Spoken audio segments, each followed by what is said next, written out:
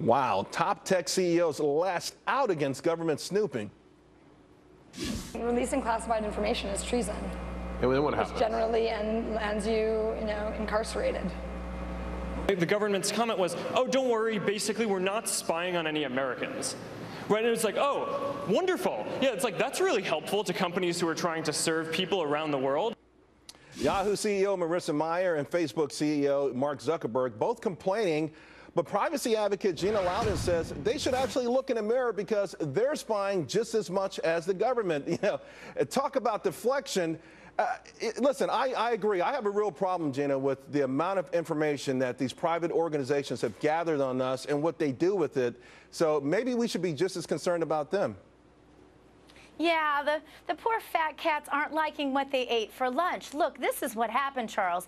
We all know that these folks are exactly the people who helped elect an administration who's doing absolutely nothing about the fact that the NSA is demanding such, such information uh, and spying on us. Um, and, and these are the same people who have repeatedly said, you know, your information is going to be kept private. It isn't kept private. And now they're the ones complaining about it. This isn't making any sense. And I think, you you know, capitalist as we are, if you take a really hard look at this and ask one really tough question, instead of patting yourself on the back for the fact that you're suing over the private data that you've given away to the government, how about you sue to not have to give that private data, data away in the very first place? That makes perfect sense to me. So in other words, uh, they're trying to have it both ways, huh? Look heroic yeah. to the public, but really accommodative to the administration.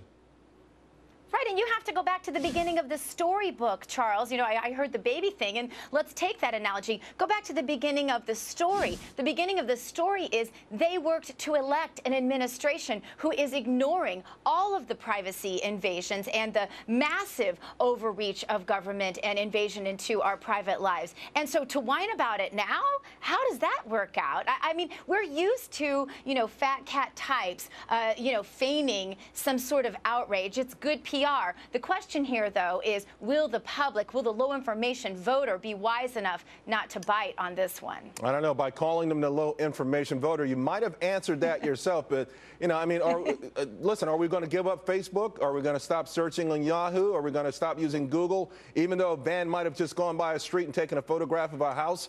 I mean, are we going to make those tough decisions? You know, some people are, and that, and that's the scary part because the, the folks who are wise to this are going to be the ones the most likely to not use those things that are a great tool out there, especially in winning elections. So this is where again they put us over over a barrel and really do nothing to help uh, we the people, the people that are actually padding their pockets quite nicely. It would be really nice, like I said, if they would instead of suing to disclose who what all they've had to disclose, right. if they they would instead just simply sue to not have to disclose it at all. You know, Silicon Valley is uh, starting to really put a lot of money into politics now for the first time, and Zuckerberg's got a big right. organization.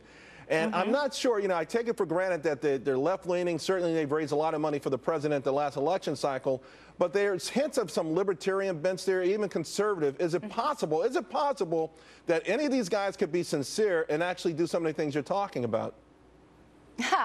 we can dream. But again, I think the proof is always in the pudding, Charles. When you're asking the hard questions like, you know, why would you sue to be able to disclose what you had to disclose? How about suing to not have to disclose it at all? I think that tells a lot and concerns me. Of course, the next elections, uh, both of the next elections, will disclose a lot to us uh, about whether their talk is actually, uh, their walk is actually in line right. with their talk, as you're mentioning. And I think it would be great. I mean, they, it makes no sense to me and never has made any sense to me why someone, uh, for example, example, you know, would, would be have a libertarian bent and not believe in uh, the, the free market and the privacy that government should allow that free market. Right.